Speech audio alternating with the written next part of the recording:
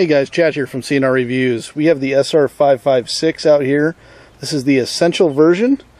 And I want to go ahead and show you guys how to swap out the flash hider, muzzle brake, whatever you want to switch to.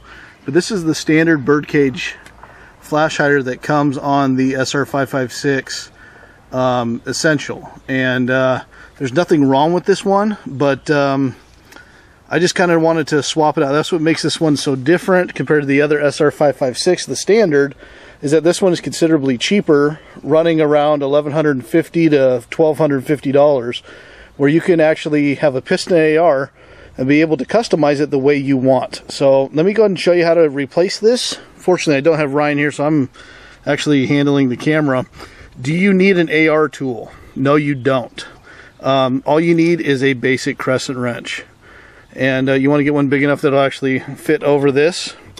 You can, if you lay the rifle down on its side, it's actually the easiest way to, to, to remove it just by applying pressure on the barrel or here, and then just working that nut. Now this is uh, righty-tighty, lefty-loosey. As you guys can see, I've already gotten it loose. So loosen it up. And uh, like I said, it didn't take much with the crescent wrench to do that.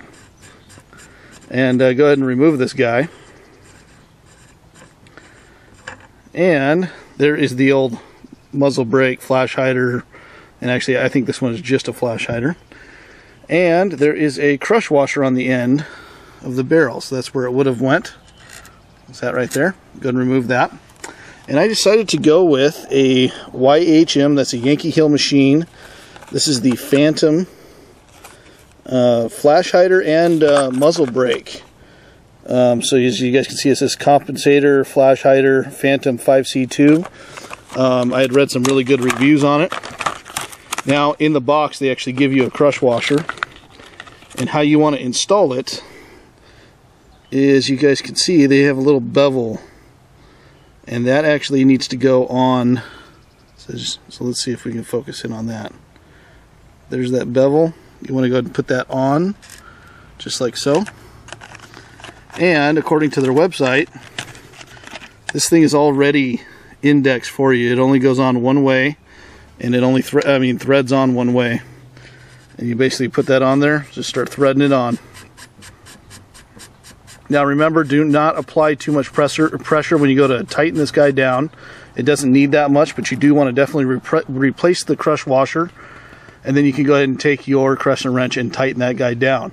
Now, I have heard problems of indexing where there's a fatter part on the compensator, it's down here, where it doesn't sit totally flat. Now, is that a huge issue? Uh, no, it's not, but you're trying to, as the gas comes out, you're trying to put pressure on that area to actually help hold the muzzle down so you're not getting as much muzzle flip. Not that the 556 223 has a ton of muzzle flip to begin with, but it just anything to help out is is just you know just going to make it a little bit easier. But that is how you install one and it's very simple guys. All right guys so the last step would be take your crescent wrench whatever you have. This one's all beat up and stuff.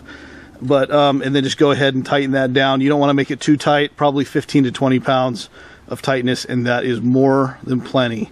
So that is how you do it. If you have any other questions feel free to ask. We're going to have a ton of videos on this rifle uh, we'll have a break-in video as far as in uh, showing you the first shots. Um, we'll even be comparing this to a Rock, uh, a Rock River Coyote rifle um, and a Colt AR. So uh, if you have any questions, again, feel free to ask and have a nice day. This is Chad from CNR Reviews.